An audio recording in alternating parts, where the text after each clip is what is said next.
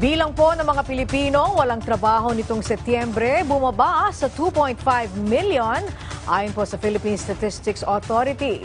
Employment rate ng bansa inaasahan namang bubuti ngayong huling bahagi ng taon dahil na rin sa holiday season. Ang sentro ng balita niya wala kay Naomi Tiburcio. Tuluyan pang bumaba ang bilang ng mga Pilipinong walang trabaho nitong Setyembre. Sa Labor Force Survey press conference ng Philippine Statistics Authority, kinumpirma nilang nabawasan ng 1.78 million ang bilang ng mga Pilipinong walang trabaho kumpara noong nakalipas na taon. Dahil dyan, tuluyan nang bumaba sa 5% ang unemployment rate katumbas ng 2.5 million na unemployed na mga Pilipino. Nananatili namang mataas ang employment rate sa 95%. Pero nabawasan ito na mahigit 200,000 Pilipino kumpara noong Agosto. Paniwanag ng PSA, bunso nito ng pagbabalik eskwela. month of September kasi open ng classes so karamihan naman pag opening ganon may mga bumabalik sa schools.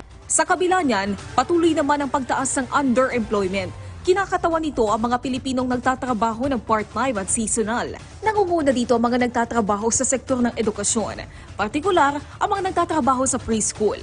Bumalik sila dahil may opening of classes yung yung face to face pero ah, pwede natin na hindi pa talaga full yung kanilang ah, ah, working hours kaya mga 97,000 din yung contribution doon sa increase sa underemployment.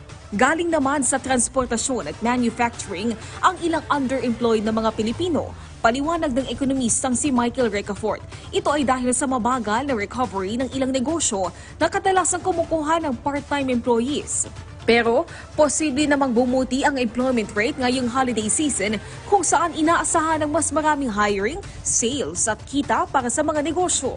Ayon naman sa NEDA, sa banta ng inflation at underemployment, ang pagkakaroon ng sapat na makakain pa rin ang kanilang prioridad upang protektahan ang pinakaapektadong sektor ng lipunan. Sa tulong ito ng targeted cash transfer, fuel at crop subsidies.